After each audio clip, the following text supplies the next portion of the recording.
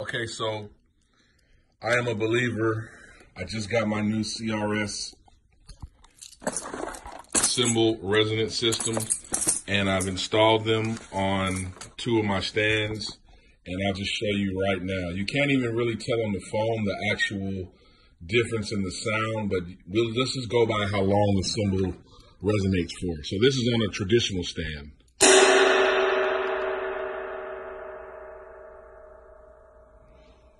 Now this is the same cymbal size of the same cymbal on one of the CRS stands.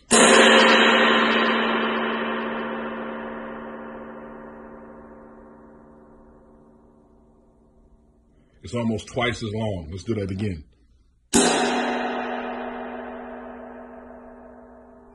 And I'll do this one too.